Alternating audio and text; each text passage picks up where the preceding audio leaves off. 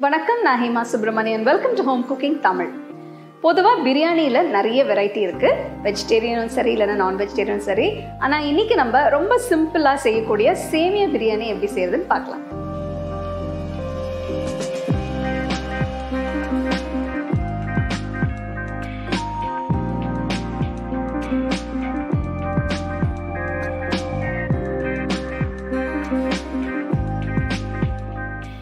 சேமியா பிரியாணி செய்யறதுக்கு முதல்ல ஒரு கடாயில் கொஞ்சம் எண்ணெயை ஊற்றி இதில் பட்டை பிரியாணி இலை ரெண்டு கிராம்பு ரெண்டு ஏலக்காய்.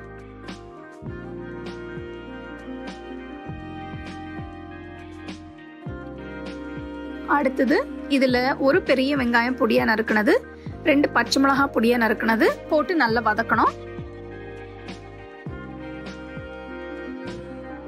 வெங்காயம் நல்லா பொன்னிறமான பிறகு இதில் ஒரு டீஸ்பூன் இஞ்சி பூண்டு பேஸ்ட் போட்டு நல்லா மிக்ஸ் பண்ணணும்.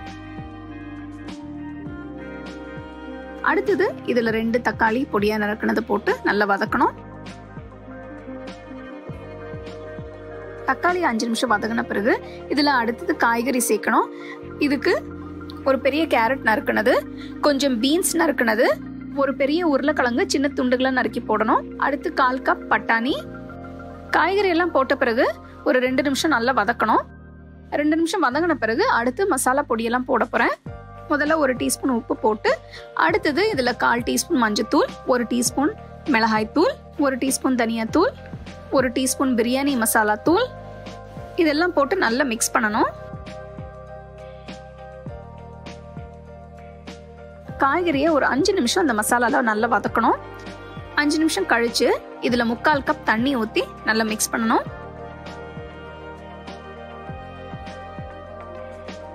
மிக்ஸ் பண்ண பிறகு கடாயை மூடி காய்கறியை நல்லா வேக வைக்கணும். காய்கறிகள் நல்லா வெந்த பிறகு இதுல கொஞ்சம் கொத்தமல்லி கொஞ்சம் புதினா இலை போட்டு நல்லா மிக்ஸ் பண்ணணும்.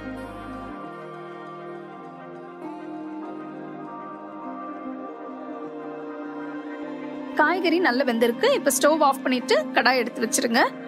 அடுத்தது சேமியாவை வேக வைக்கணும்.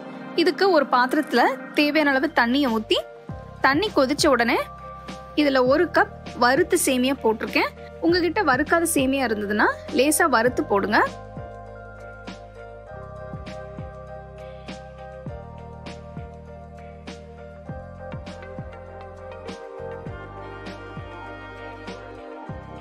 சேமியா போட்ட பிறகு இதுல கால் டீஸ்பூன் உப்பு போட்டு நல்லா கொதிக்க விடணும். சேமியா முக்காவாசி வெந்த பிறகு உடனே வடிகட்டி எடுத்து வச்சிருங்க.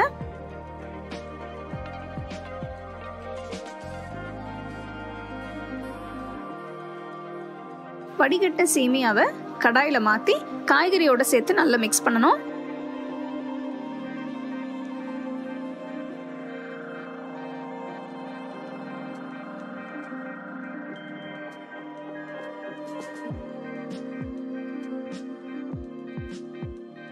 நல்லா மிக்ஸ் பண்ண பிறகு இதில் ஒரு டேபிள் ஸ்பூன் நெய் ஊற்றி ஃப்ளேம் மீடியமில் வச்சு கடாயை மூடி ஒரு அஞ்சு நிமிஷம் சேமியாவை வேக வைக்கணும். அஞ்சு நிமிஷம் கழிச்சு பார்த்தீங்கன்னா சேமியா பிரியாணி தயாராக இருக்கு. இது நல்ல சூடாக சர்வ் பண்ணுங்கள்